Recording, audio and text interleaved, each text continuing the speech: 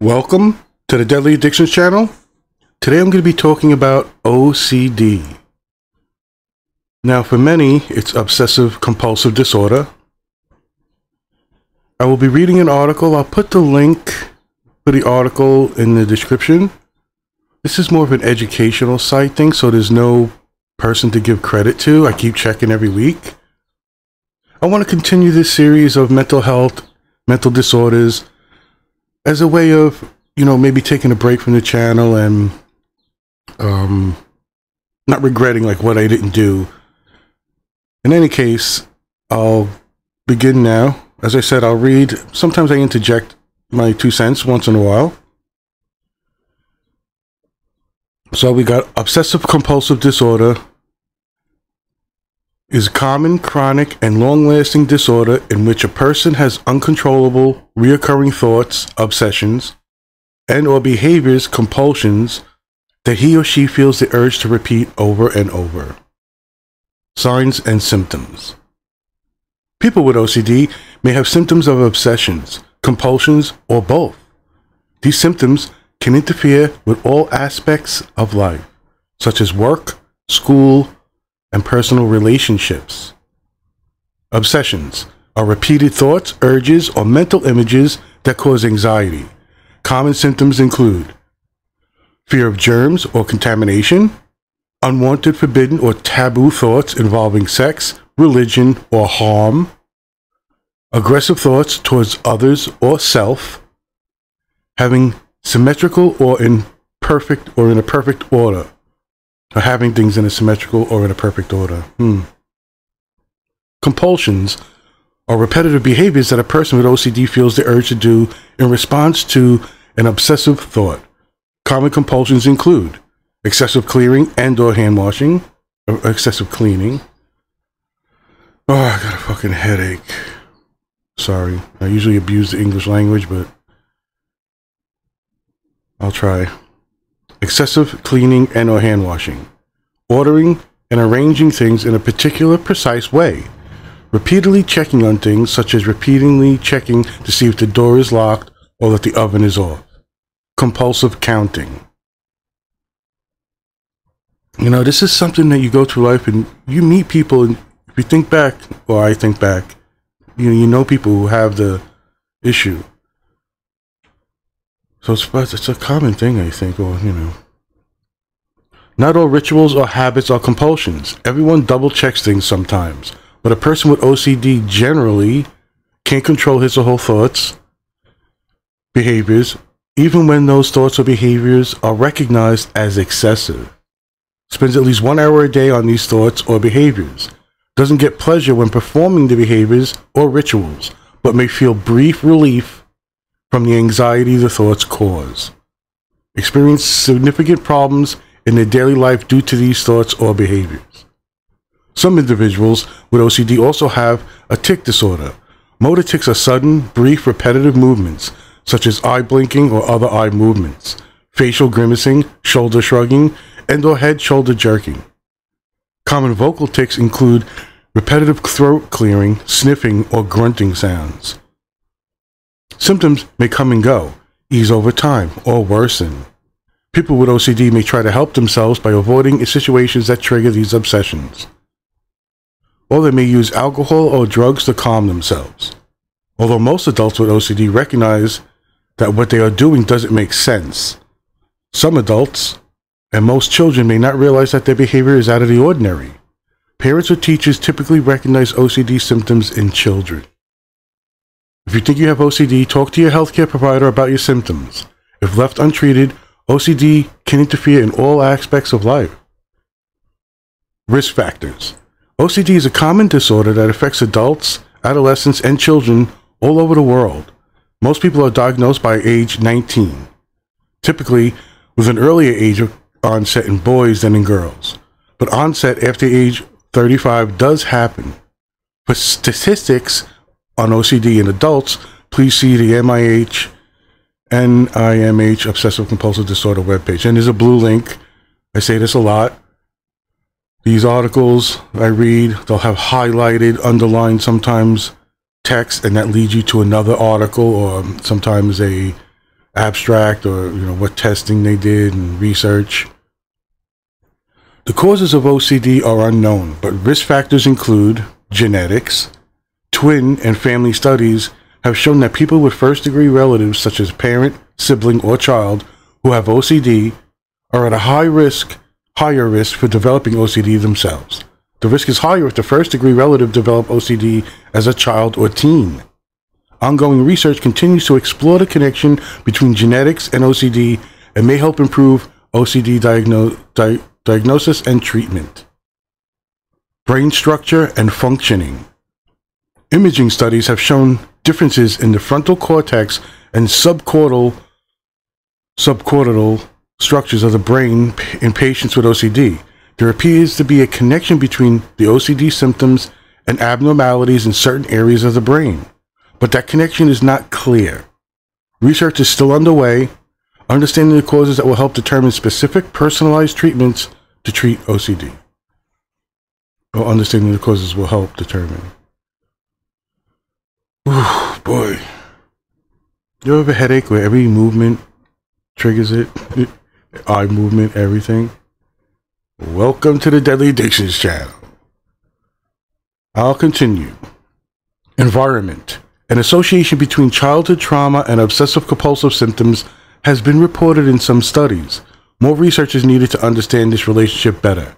In some cases, children may develop OCD or OCD symptoms following a stereotypical, uh, what? oh, I was about to say stereotypical, Jesus Christ. A streptococcal infection. This is called pediatric autoimmune neuropsychiatric disorders associated with strep streptococcal infections, pandas. I guess it is. I could have just said pandas. Okay, thank you. Pandemic autoimmune neuropsychiatric disorders. Okay, pandas. For more, for more information, please read the NIMH's fact sheet on pandas. And that's highlighted blue. Yes, you don't have to read the whole fucking thing like I did. Treatments and therapies. OCD is typically treated with medication, psychotherapy, and or a combination of the two. Although most patients with OCD respond to treatment, some patients continue to experience symptoms. Sometimes people with OCD also have other mental disorders, such as anxiety, depression, and body dysmorphic disorder.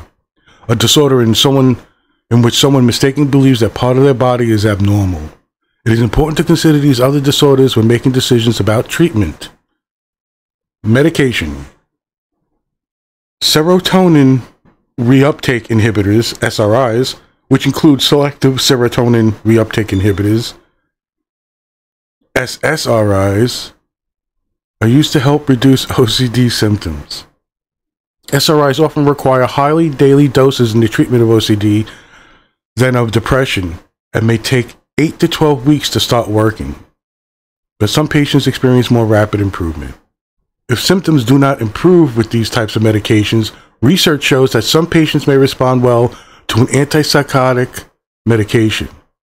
Although research shows that an antipsychotic medication may help manage symptoms, for people who have both OCD and a tic disorder, research on the effectiveness of antipsychotics to treat OCD is mixed.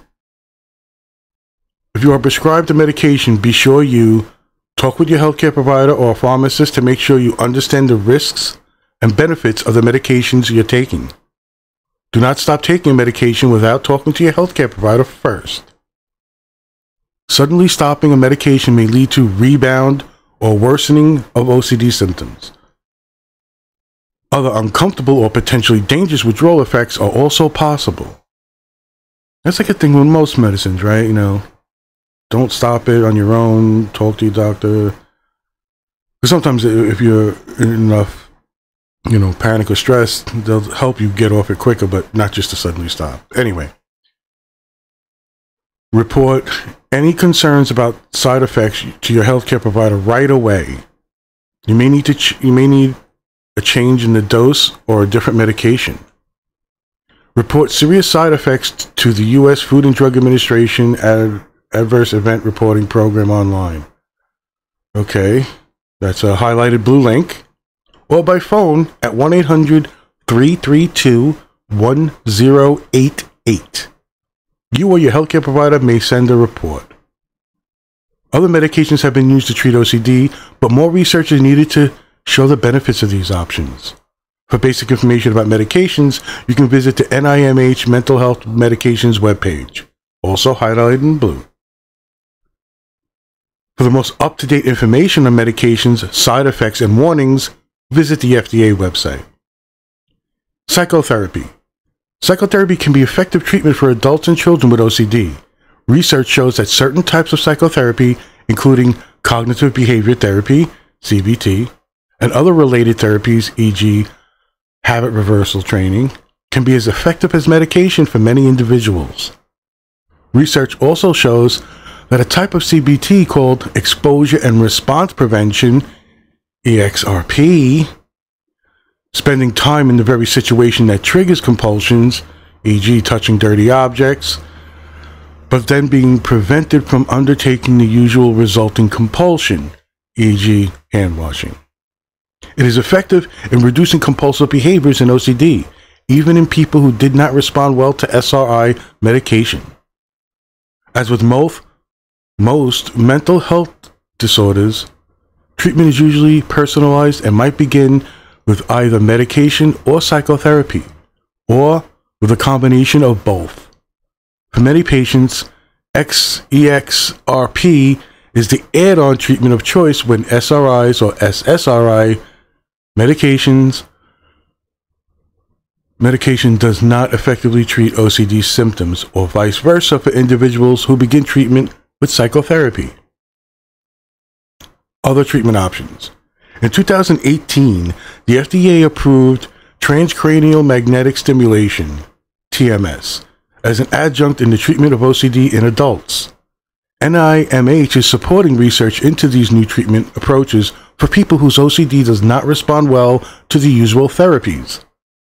These new approaches include combination and add-on augment augmentation treatments, as well as novel techniques techniques such as deep brain stimulation. You can learn more about brain stimulation therapies on the NIMH website. Again, that is highlighted. You can hit the link. And again, I say this a lot. For me, it's fascinating. I'll spend a couple of hours by hitting some of these links, especially when I'm preparing for these things, and I get lost in another part of the story in a sense. So I can tell right now I've hit some of these links because they're purple for me. You know, they, change color, I guess, when you hit them. So it's it's interesting, especially if you're fascinated with this stuff. Finding treatment. For general information on mental health and to locate treatment services in your area, call the Substance Abuse and Mental Health Services Administration, SAMHSA. Treatment referral helpline at 1 800 662 HELP, which is 1 800 662 4357. SAMHSA also has a behavioral health treatment locator on its website that can be searched by location. You can also visit the NIMH Help for Mental Illness page for more information and resources. Again, lots of blue links to hit to go look at. Here we go. This is like on everyone. I should just edit, copy, paste this part. But join a study. Clinical trials are research studies that look at new ways to prevent, detect, or treat diseases and conditions. The goal of clinical trials is to determine if a new test or treatment works and is safe.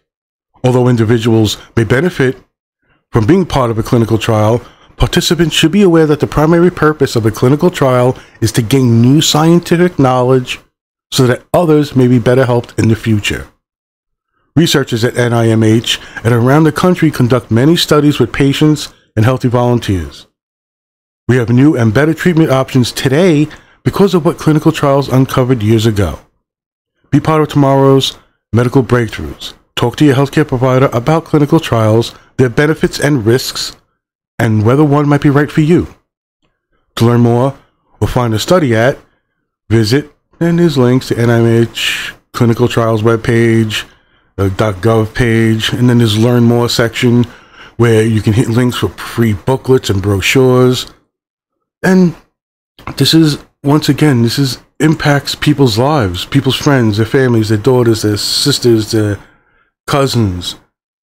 People's lives are just impacted greatly by mental illnesses and disorders, and we don't bat an eye sometimes. We don't know certain people uh, at certain times of their life, even close relatives and friends. And I always try to describe it, especially for me with my issues, is, you know, we can learn tools and people could help you with, you know, advice and, you know, but when too many things start happening at once, it starts to create that effect. It just overwhelms people. And imagine trying to go through life and you got to double check and triple check and man, it just seems so frustrating. Especially when you know what's going on. My heart goes out to people, even if it's something that someone might say, "Oh, well, you know, clinical depression. You know, you did your podcast on that. Well, you're doing one on OCD. Well, these things are major to me. Like your whole life is impacted by these things. Daily routines, the joy of certain things gets muted and muddled. I know that as it happens to me. Not that I have OCD symptoms, but a lot of these things are overlapping areas, you know, anxiety. Look at anxiety disorders, right? But then you could have depression and anxiety's linked by bipolar disorder. It, it is so fascinating to me, the brain, but it's also worrisome and how we just let people, ourselves, go through life and go get help, talk to people, talk to your friends, open up. Um, listen, hit some of these links. Again, you don't have to listen to me flub the English language or just generally do these podcasts in a uh, fucking sometimes potted out fun vibe or just want to get through it because the headache is pounding, you can just hit the link in my description. Some of these articles, well, maybe not these particularly, but there are some places that actually you can hit a link, get to a, the page, and hit the button that you can listen to it without having to hear me, you know, Brooklyn, New York, just murder language. Again, mental health disorders, illnesses, however we're going to um, label them in a sense of severity, I don't know. But I like to think that all of them are just important factors in people's lives, what they go through every day. You can be, you could have none of these disorders and still have a shitty day. And when that shitty day gets compounded by more bad news and this happens, it starts to snowball and it gets worse. So imagine if you have any one of these disorders, maybe two or three of them. You know, maybe you've gone through life and had such difficult situations that it forced you to create some of these uh, things like they talk about, like traumas in, when you're youth.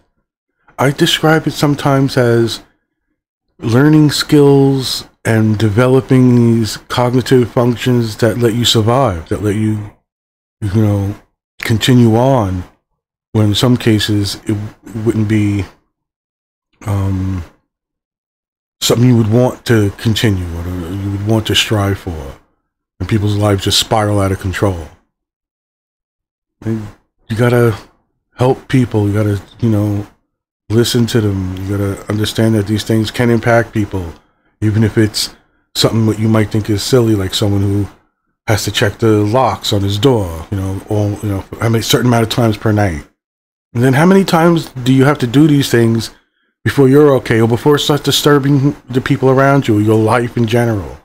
How late are you to work every day? Can you even work?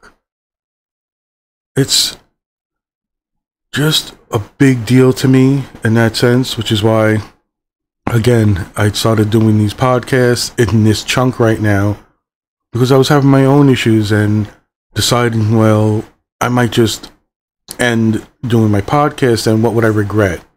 And in the past, when I first started it, I was always wanted to have a certain playlist or section that dealt with these things and have openly discussing all types of mental illness and disorders.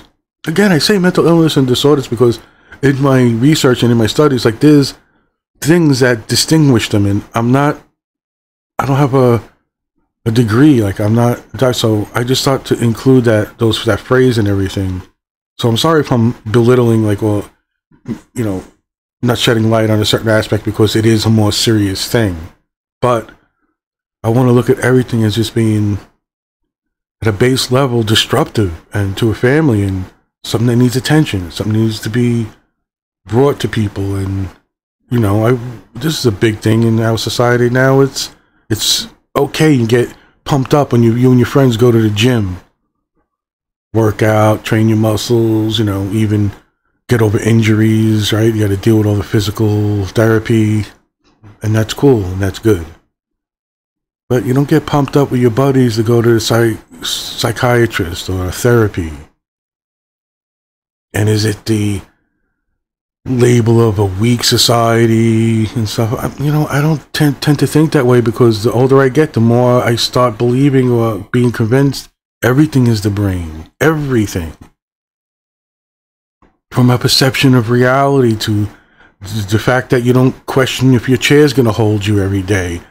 Um, when we know that your car might not stop, but we get in like all these little things, all the things your brain is doing 24 hours a day is really the ultimate goal of understanding our place here and every, in every aspect that you can think of. I don't care if it's even religion because it all comes from your brain. And even if it's real or not, your understanding of it, your your your intuitions, your um, beliefs in it.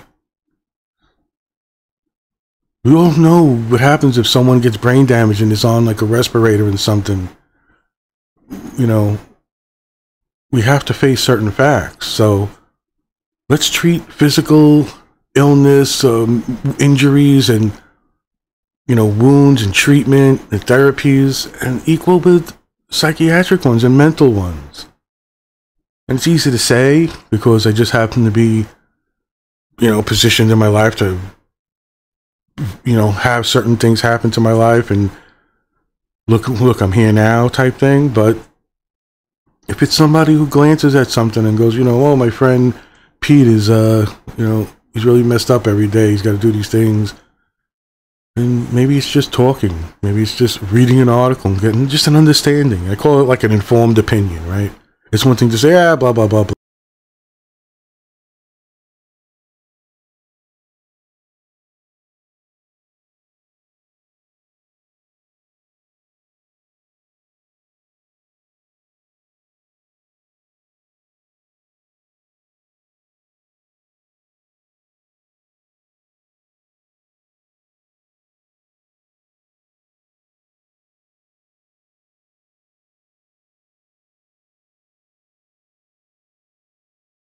Feel it's right.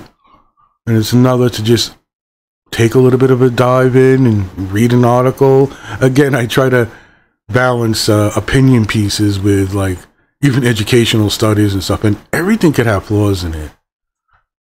But at least you're just dipping your feet in, you're getting a little understanding of what the cousin might be going through, or one of your best friends. Or in some cases, it's it's even more tangential. It's like your best friend's girlfriend right? Or your your brother's wife, and it impacts. It, it just ripples out. So first is just understanding, getting a little more informed, maybe being better at listening and understanding of these things. Because when you go through life with family members, you can say the worst things to your family, to the people you really love. You won't say shit like that to your friend. If you think about it, it's it's it's just for a lot of people, that's how it is.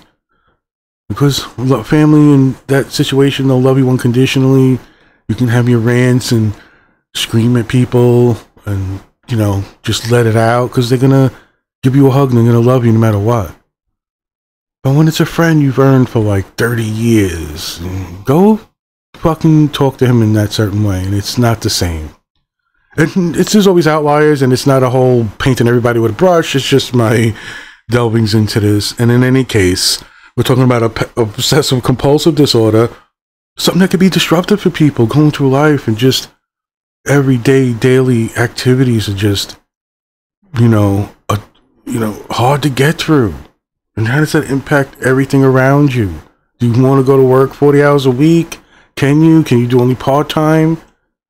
You have kids, you have family. Wow, I just, my heart goes out again I wish um, I was more informed myself, and that's why I do some of these things. I can say at least, the very least, these last seven podcasts, I've at least dipped my toe back into this realm and have a basic understanding because I keep reading these fucking articles and fucking up the language. It's got to be doing something to my brain. Like, hey, you know, you know some of this stuff. In any case, uh, that's where I'll sort of end this. Um, mental illnesses, disorders, I think are important things to understand to a certain level, to be forgiving, to be, you know, just aware of things and how it impacts everybody's lives. I had a conversation with a friend about one of the hardest jobs I think in the world. Was just jokingly was a night nighttime doorman, and you're like, what? All you have to do is sit behind the desk. There's no real traffic, and that's it. They buzz people in, take you know concerns or no. As I delivered bagels in Manhattan for years and worked from like ten at night to seven in the morning, these people were the most tired, dark circles under their eyes, miserable people who could not find a way to make the time go by fast enough to be locked into this slow motion of life. and yeah, you might think I got friends that are steel workers. I'm so proud of like just how they can, you know, put their bodies in exertion every day. But the mental health wear and tear on that doorman, I've never seen anything like it. And I've done deliveries and still to this day do sort of deliveries. There's a sort like a deep darkness, a depression. And it's not everybody, of course, but I'm just trying to give a generalization of, yeah, physical activities, you know, garbage men, you know, they, they fucking clean up garbage, they always moving. You know what injuries they get? Crushing their fucking hands, hernias, whatever. And maybe it's time to just maybe start to equate mental health illnesses, uh, people's depression and what they, and imagine going to work and being a doorman and you have to spend those eight hours in slow motion, basically, in your mind aware of everything. What if you have OCD, right? What if you have uh, clinical depression? What if you have bipolar disorder? So, I don't think one job is harder than the other. I believe that we should start equaling out the value of mental health and physical health. And there we go. I hope everybody's doing well.